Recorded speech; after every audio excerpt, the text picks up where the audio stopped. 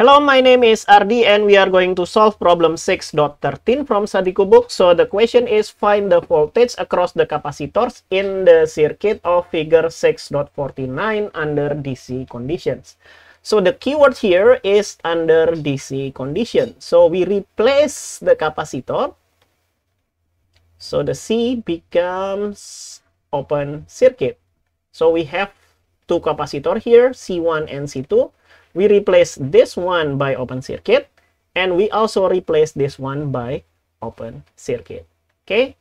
So now we have this one in DC condition. So we replace that C1 by open circuit and we replace this C2 by also open circuit.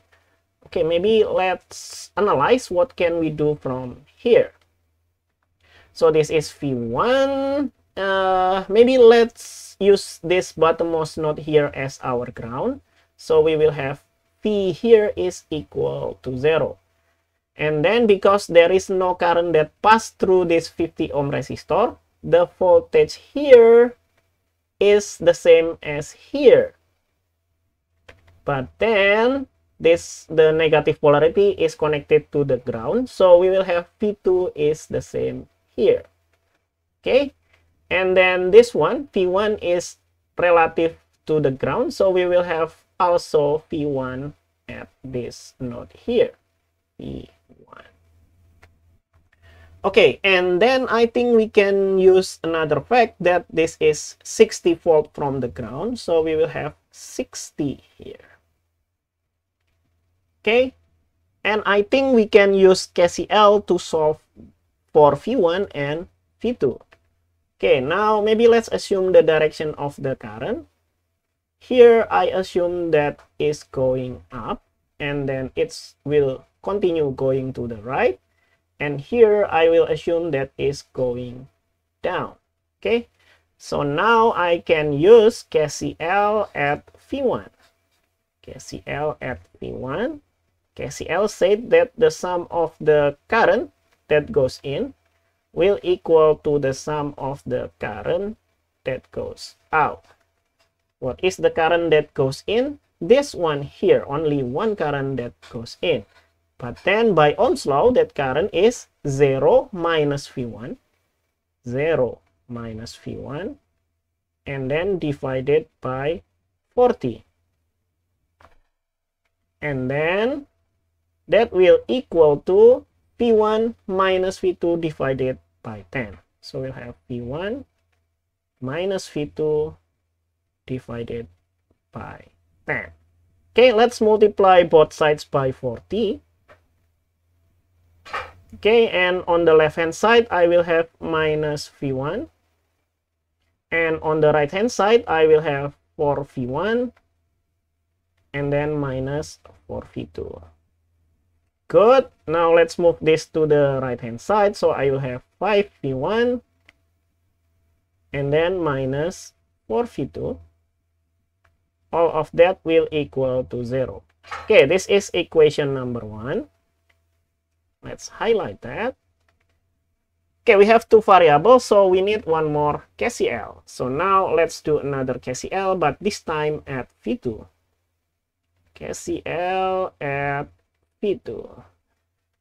Ken KCL said that the sum of the current that goes in will equal to the sum of the current that goes out.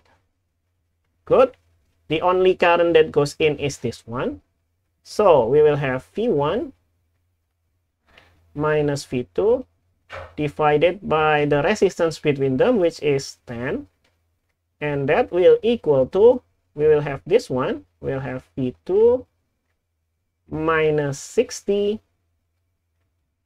divided by 20.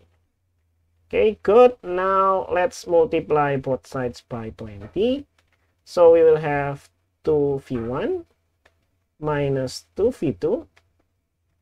And then 20 and 20 will cancel each other. So we will have v2 and minus 60. Okay, what can we do from here? I think we can rewrite this as 2v1 minus 3v2 and that will equal to minus 60 okay this is the second equation. So here is equation number two okay we have two equation and two variable i think we can solve this but our slide is full maybe let's erase that first Okay, we have two equation with two variables. You can use substitutions, eliminations, Gaussian eliminations, or inverse matrix. You can use anything, but I think the fastest way to do it is just by just plugging in plugging it into calculator. Because usually in the exam you can you are allowed to use calculator right? So why don't just use it as much as possible? So we'll have the equation solver here. Two variables is number one. And then we can plug that 5 and then minus 4 and then 0 good. So the second equation we will have 2 then minus 3 and then minus 60 okay so we will have v1 is 34.29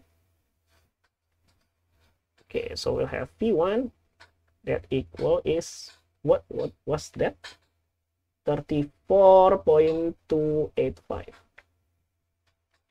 34.285 and the unit is volt and then what is v2 v2 is 42.857 42.857 and again the unit is also volt okay and i think that is the voltage across the capacitor in dc condition. So this is v1 which is the voltage across capacitor v1 here and this is v2 which is the value across this capacitor here. Hopefully I did not make any mistakes during my calculation. Yeah, hopefully. Let me know if I did in the comments. See you in the next video. Bye-bye.